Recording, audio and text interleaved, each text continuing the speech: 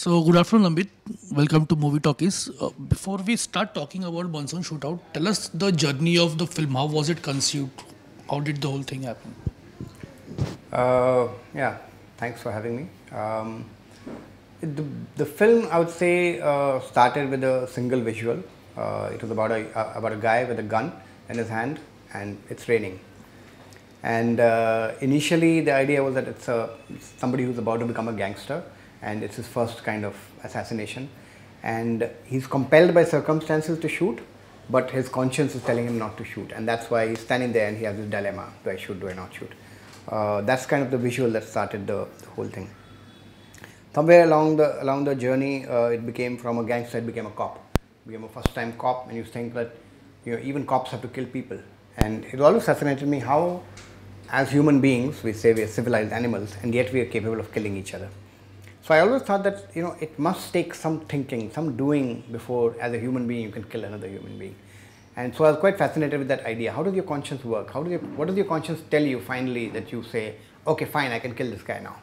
And obviously, in certain situations like this, it, it happens in a fraction of a second. You're standing there and suddenly you have to decide what do you do. Um, so that's kind of where this this idea of, of the film started off from. So you think like, okay, so uh, and I think the other thing that kind of joined in was the fact that I, I find uh, um, kind of uh, making decisions very traumatic. So the idea of this cop with a gun uh, in the rain uh, joined with the fact that I find taking decisions very difficult, life and death decisions I don't have in my life, but you know, life-changing decisions.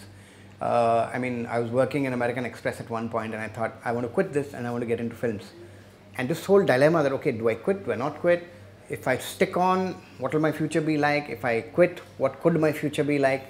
This idea of standing at a point and wondering what one path could lead to or what the other path could lead to in order to decide what to do, uh, I found it very fascinating. I thought that it's, it's, probably an experience that all of us have in some way or the other, in some intensity or the other. Uh, and I thought it would be worth making a movie about that. And I think so there uh, the idea of this cop standing with a gun, I thought, let me extrapolate that. And he stands there and he imagines, so if I shoot the guy, what would happen? And hence, do I want to shoot him or not? And if I don't shoot the guy, what would happen? And hence, do I shoot him, do I not? So, you know, it all came kind of, uh, the structure of the film came organically from the point of, you know, the, mm, the point of, let's say, inception of the idea that what do you do when you face with a situation like that? So, would you describe Monsoon Shootout as a noir thriller or a philosophical film? It's very funny because uh, I would call it a philosophical film hidden inside a noir thriller. So when you watch it, it's a great ride. I mean, you know, if you don't want to think philosophical side of it, it's cool. It's great ride, got great actors, great visuals, and uh, um, you know, it's uh, it's got a great twist at the end. So you know, you really watch till the end and you think, okay, it's taken me on a nice ride, and I'm ready to go home. And you just wait till the ending, and suddenly you think, oh my god, this is like really cool. So it's a film that can really hit you quite hard. Uh, other than that, of course, I've planted the philosophical side in it, which is if you want to take that, you can take that. If you don't want to take that, you don't have to take that. But I think everybody will come away from the film thinking about the choices of their life and wondering that, you know, okay, if I had done that, what would have happened? And uh, because I think it's a universal thing. So. so, like you said, the film revolves around the choices that we make and what prompts us to make certain choices. But why a crime thriller? Could you have done it with any other genre? Uh, could have, and probably somebody else could have made a film like that, and might have been, uh, you know, also a, a, good film. It's just that uh, that's the thing that came to my mind first, and uh, um, like for example, I made the bypass, you know, a short film mm. in the desert with Nawaz and Irfan, and it has violence in it, and uh, um, it's not that I searched that okay, I want to make a violent story, let me find something violent, but it's just the idea that kind of bubbled insight from me and that's what I made. Um, same with Monsoon Shootout, that this idea of this guy standing in the gun, I still don't know where I got that image from of a guy standing in the gun with the rain, uh, uh, with a gun in the rain. I don't know where that visual came from, but that's what came to my mind. And uh, somewhere I think the, uh, the capability of uh, humans to perpetrate violence on other humans, I think that fascinates me somehow. How was the casting decided? See, Nawaz I'd worked with before, mm. so it was easy for me to say, okay, um, I worked with you on Bypass, put you in here. Uh, Vijay was a really uh, amazing uh, thing because uh, my associate director was from FTI, uh, Rima Bora. She's an Assamese filmmaker now. Uh, she had studied with Vijay Varma at FTI, and so she recommended him. He came home. I opened the door. I looked into his eyes, and I thought, "This is my guy." And uh, but everybody around me, you know, the producers and my whole team, everyone was like, "Are you sure this guy?" And so it's one thing to say, "Okay, I see in your eyes the guy I want," but it's another to say, "And now you have to give me that performance so that I believe that this is the guy I thought I saw in your eyes." I think that was, I think it must have been a torture for Vijay because it went like off, I don't know, one, one and a half years, 40, 50 auditions. And he was like, ask me in the end, what different do you want me to do? I said, don't worry, just keep doing it. Because I had seen the character in his eyes already, I was kind of confident that I'm going to get there. It'll take some time, but I'll get there. And at some point, I will reach the point and say, okay, yeah, I got it. Um, luckily, that point happened before the, the shoot of the film, and you know, and then we locked him in. Um, I had worked with before on a film called Shadows of Time, uh, Bengali uh, Bengali film made by a German director. So I knew her from there. I knew she could carry off this role. Uh, Neeraj Kabi, I was helping a friend of mine uh, on a film uh, called Gandhi of the Month. So he was casting for that. Neeraj had come in for a reading. And the moment I saw him, I said, okay, he's the guy. Uh, Chotu, the kid, we had to find. Uh, I didn't. I wasn't happy with all the actors that I was presented, and I told my associate by the time I was shooting this uh, uh, Gul, she was another uh, uh, FTI student. Um, I told her to get all the juniors, the kids, uh, and uh, just go through them and shortlist ten of them.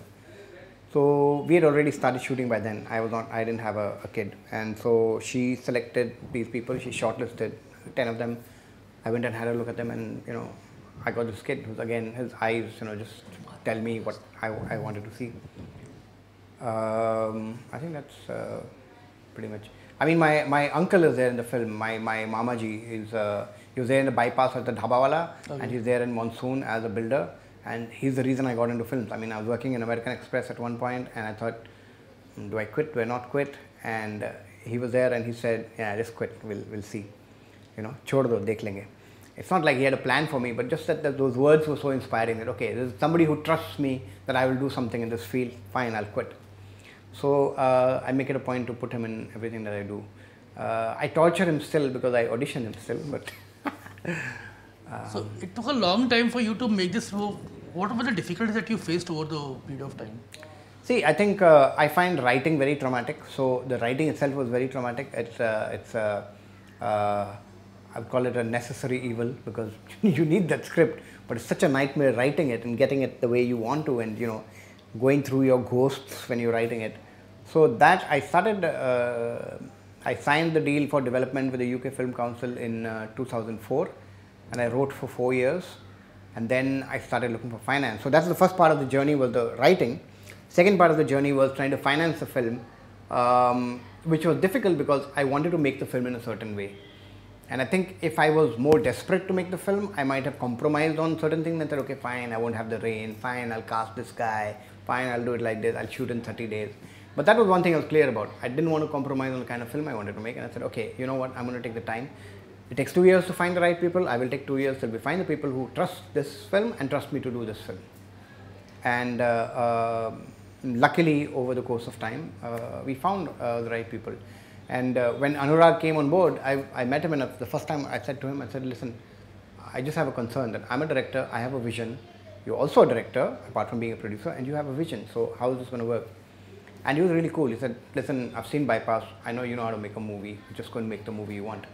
And it was cool. No, not like one drop of saying, Oh, do this, do that. He just left me alone to make the film. Um, so that was really good. The making of it, I think uh, the really tough thing was the rain, which for me is another character in the film. Uh, it was again important for me, just like I'm very particular about the performances and the casting because I want the performances to look real. I wanted the rain to look real, and I didn't want to kind of compromise on that. And uh, so sometimes I would spend three, four hours uh, rehearsing with the rain to make sure the rain is right before I even start shooting. Uh, so I think that was a bit difficult. And uh, then after that, uh, uh, uh, on the edit, we edited it. We got it um like let's say a hundred minute film, and I was still like, okay, everything is there, but it's still not what I had in my mind. So there's something that's you know another touch we need to do to it. So Atanu, my editor, was like, so what do you want to do to it? I said, that's the problem. I don't know exactly what I want, but I know that this is not it. So maybe we need to get an outside, you know, a fresh perspective. So Asif Kapadia, who's one of the exec producers on the film, he um, uh, he suggested his editor who would cut uh, Irfan's first film, The Warrior, which was Asif's first film. And so she had a look at it and she cut off 10 minutes of the film without losing a single scene, just little tripping here and there, and suddenly it became the film that I wanted to. So that was a bit of a journey. Of course, after finishing the film in 2013, it's like, you know, it's, it's playing to standing ovation in Cannes, traveling around the world. And like, of course, somewhere you want to release in India. And uh, uh, I think that was another difficult part of the journey, finding the right people who would trust in the film to release it.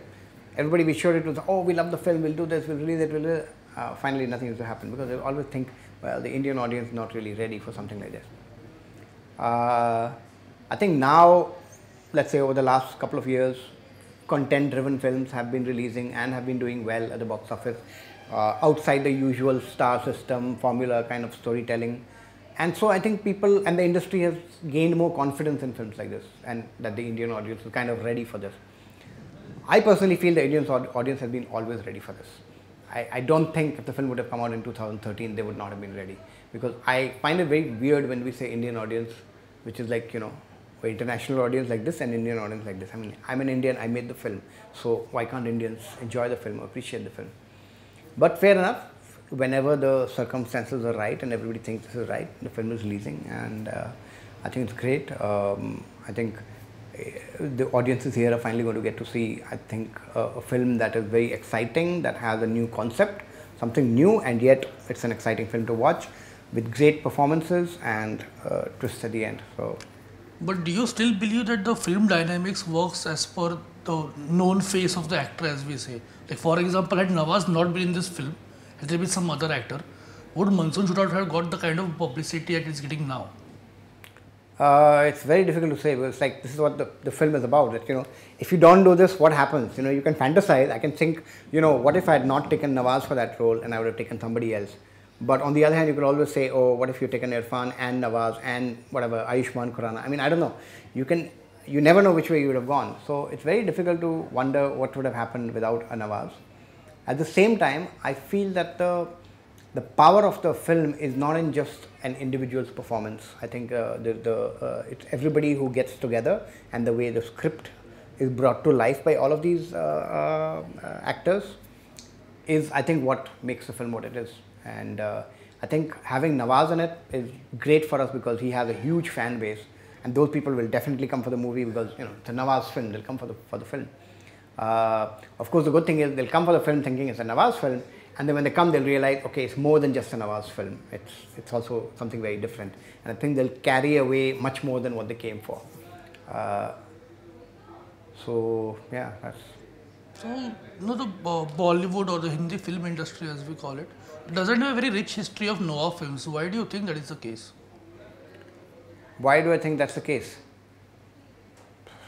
Um, I actually have no idea why, why we don't have Noir films. I mean, I think maybe it's just to do with the, let's say, if you look at the history of the place, uh, let's say noir films coming out of America mm. were rooted in the Great Depression and in all those gangsters that came out from you know uh, illegal you know bootlegging and all that stuff. So that was part of their lore, part of their lives. And I think for us, by and large, a country is full of middle class lives, which are where you know family dramas and you know um, tensions with the in-laws and you know uh, love has been a taboo subject for a long time and I think so it's very exciting to see love on screen because in our normal lives you, you, you don't get to interact with girls sometimes you know like okay and you know and uh, uh, I think that's there's a reason why the cinema of a place is of a certain kind and uh, uh, at the same time uh, this is a genre that I enjoy watching and I know a lot of my friends enjoy watching and so um, uh, it's something like I said about the bypass also that it's just something that instinctively came to me. It's not like I chose that I will make this kind of films. Uh, Rajiv Ravi, my cameraman, is like my old time friend from FTI. He keeps asking that, like, what's with you and violence? Like, why are you so fascinated by violence? Did you have a disturbed childhood or something? And I'm like, um, I have no idea, man. I mean, I know I didn't have a disturbed childhood, but Why does violence fascinate me? I have no idea. I think it's cinematic. I mean, violence is definitely cinematic. There's no doubt about that. Um, Which are your favorite Noir films, both here and abroad? Uh, here, I would say, I think, uh, I mean, if you would consider Satya Noir, I think I, I love Satya. If you talk about thrillers, I love Parinda also. Okay. Um, uh, yeah. Mm, Johnny Gaddar was not too bad. Uh, and outside, um, I mean, Inception is a different kind of noir, but I loved Inception. I love the way they play with time. I, I love anything that kind of uh, plays with established kind of uh, norms and cliches and, and fools around with them. I love westerns. I love Sergio Leone films. Uh, Once Upon a Time in the West, amazing film, amazing beginning. The way they, he uses his characters, the faces he casts, the landscape, uh, and it's amazing. Scorsese films, obviously. Um, Miller's Crossing, an amazing film. Uh, yeah. What are your upcoming projects now? I'm right now working on a show for Amazon Prime. It's uh, called The Last Hour. It's like a supernatural thriller slash taboo love story. Uh, so we're writing, me and my wife Anupama, we're co-writing right now, and then uh, hopefully by towards the end of next year we'll be shooting it. So that's that's what I'm working on right now. So tell me something. At Mon- let's say, uh, say hypothetically, if Monsoon Shootout is to be remade in Hollywood, which actors would you like to play those roles that you have? That's a very funny question. Which actors would I want to cast as the lead? I think I might cast Russell Crowe as uh, the Neeraj Kabi character. Okay. and I might cast uh, um, uh, um, uh, hmm, young, not James Franco. I would. Very tough call now. I mean, I would love to cast a younger Leonardo DiCaprio in that that role, Okay. but obviously everybody will say that Greed. Um, I mean, off the top of my head, I can't think of. You know, James McAvoy. I think again he's older now, but slightly younger guy. Or when he was a bit younger, I think I loved him. I really loved him. I would love to cast him uh, as uh, Vijay's character. Okay. Um, And Nawaz? Hmm, Nawaz's character. Interesting. Off the top of my head, I can't think of anyone right now. You know what? Joaquin Phoenix.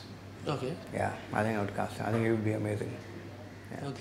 I know he's given up acting now, so but uh, yeah, I hope one day I can you know work with him in something. Okay. Thanks a lot, Amit, for chatting with us. Had a Cool, great no chat. problem. Thank you so much. Wonderful. Thanks for having me. Okay.